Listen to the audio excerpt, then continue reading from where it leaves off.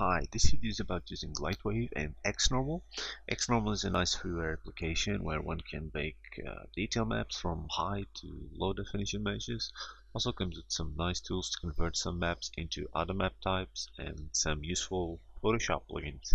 In this case, I'm just going to use it for a situation where I would have a two-step type sculpt where I first would work up my volumes, my general volumes, and then on the surface of those volumes I would add detail so fine detail. So the idea would be then to have a retopo of my sculpt uh, and bake the volumes into a displacement and the fine details into a normal map. So this is my pseudo sculpt. It's really a really bad one but it's good for the demo purposes. And here in modeler I got my pseudo retopo mesh, which is basically uh, some flat polygons with subdivision and a UV texture applied with subpatch interpolation. I also got my high model, which is the source of my displacement data. Uh, basically the same scene of sculpt on Sculptris, but without the um, surface details. And I need to prepare this uh, to get the displacement. Displacement is basically an offset of the vertices on their normals, up or down. And well, in this case, this object is very simple, but here one can see that very simple objects with different angles. This is what uh, happens with displacement. Uh, one thing to notice is that this since this, is um, a subdivision object and subdivision deforms uh, the mesh uh, one needs to take into account at baking time all the deformations that take place at uh, mapping time. So I need to freeze this mesh I'm using level 8 subdivisions and I'm going to save it as low model underscore bake. I'm also going to use a XNormal feature called the cage. Called it. It's basically uh, a duplicate of the low poly mesh which is offsetted on the vertex normals just like the displacement until it covers the whole uh, high definition mesh okay so this object is very simple so it's basically like moving uh, all my polygons up. And but here I'm using uh, actually I'm using move plus right mouse button. And now it covers all the high definition mesh.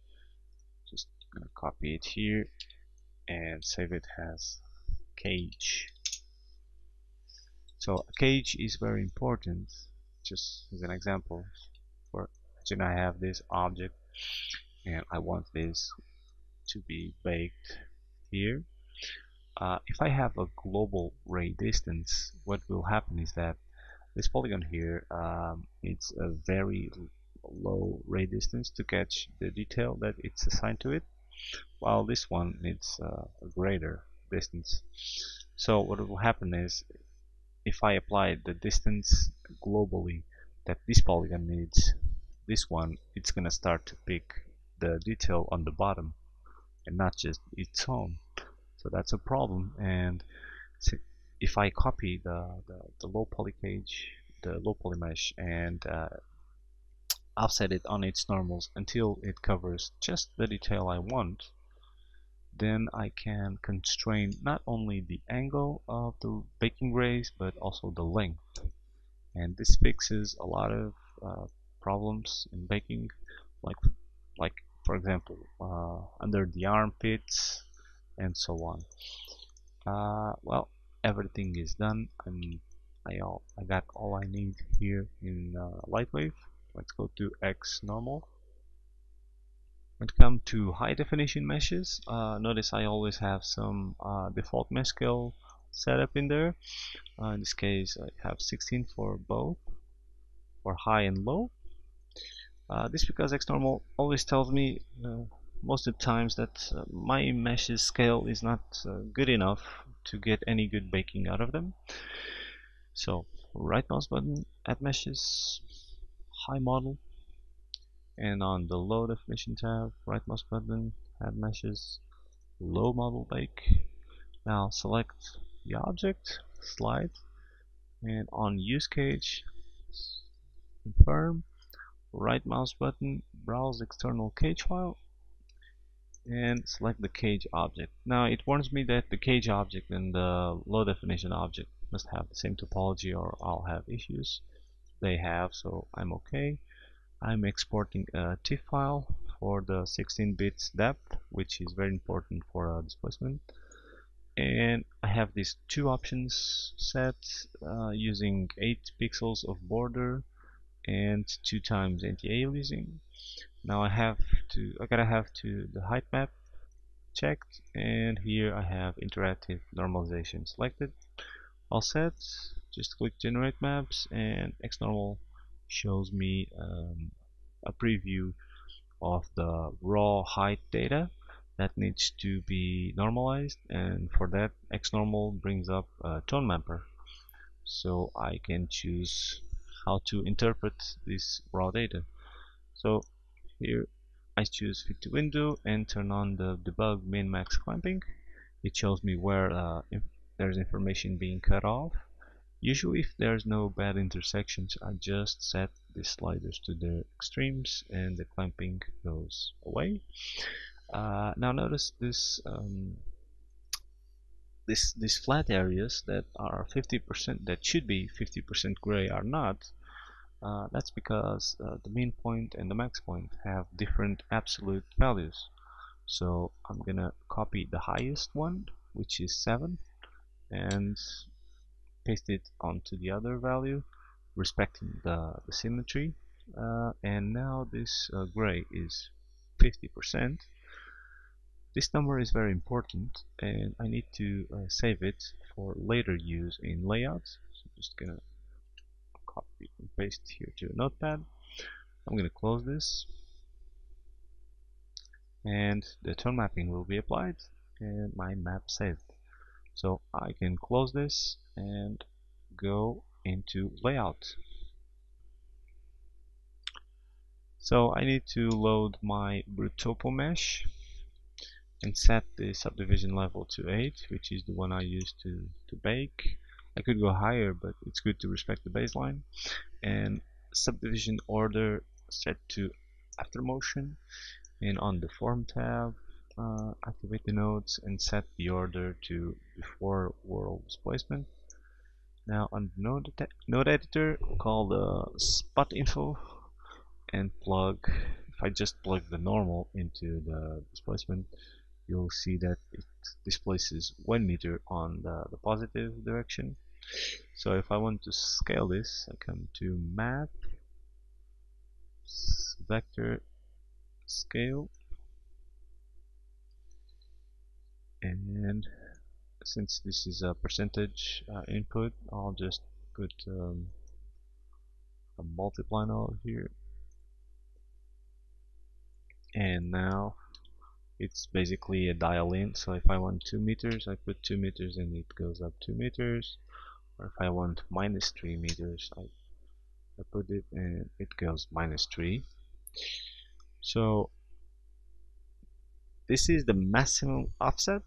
The image map will just basically tell that some vertices will not go to the maximum offset. So if the maximum offset is minus 3 uh, or well in this case maximum offset is 3 um, the the, the white uh, white pixels will make the vertices go to 3 and the 50% gray pixels will make the the vertices go nowhere and the black pixels will make the vertices go minus 3 so let me load my image here it is.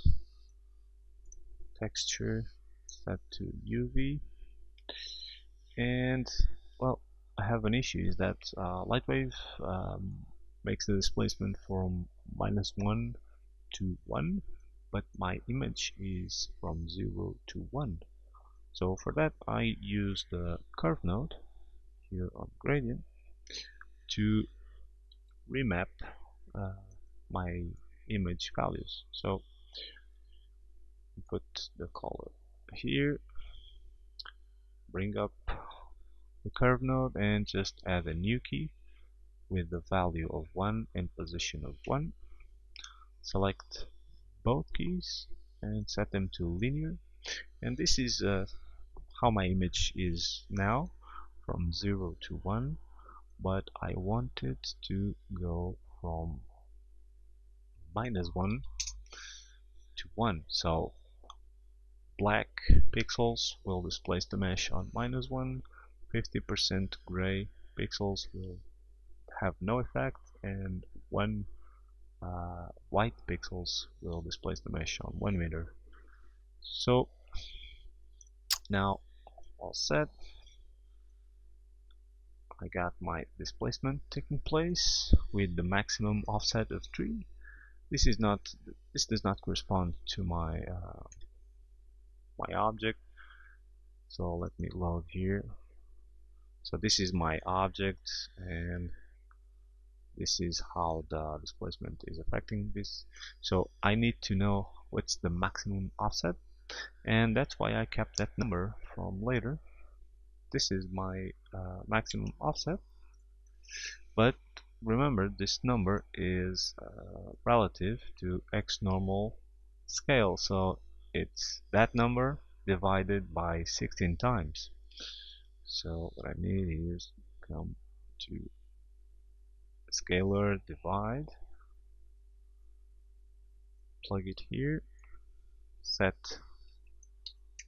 the set number and 16 okay so now I got um, my mesh falling just right into place where it should be. And let me just make a render scene editor. So this is my high model. The volume uh, data. This is the low poly with displacement. So virtually the same. Uh, now I got my displacement applied. I want to get my normal map. For that I'm gonna save uh, the low poly with displacement and I'm gonna save a trans object a different name. Let me say low model plus displacement. And I go back to X normal to bake the normal map. But first I need to come here to Sculptris and export a high detail object. So I have all this information and then on X normal I can delete the previous baking meshes so come to high add high details and come to low and add the low plus displacement. On baking options I swap height map for normal map and I'll just leave the default settings with tangent space on. And now I can generate my normal map